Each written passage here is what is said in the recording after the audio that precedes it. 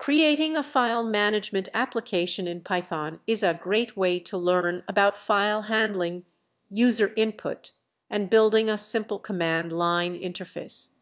This tutorial will guide you through the process of building a basic file management app that allows you to perform operations like creating, reading, deleting, and listing files.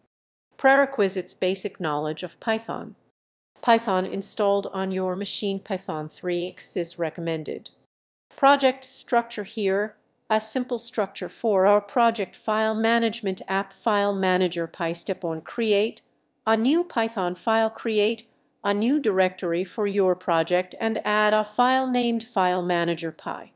Step 2 Basic file operations in File Manager Py. We will implement the following functionalities.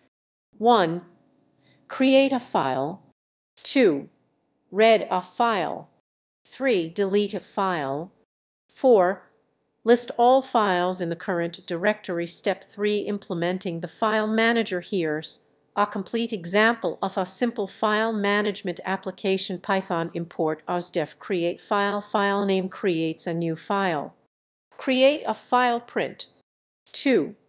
Read a file print. 3 delete a file print. 4. List files print. 5.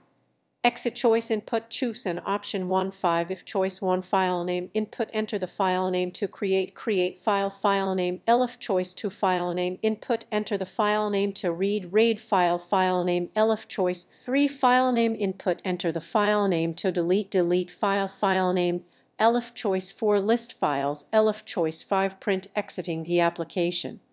Please try again. Open a terminal or command prompt. Navigate to the directory where File Manager Py is located. Run the application using the command bash python file manager py step 5 how it works create a file the user is prompted to input a file name and content. The file is created in the current directory. Read a file the user inputs a file name to read.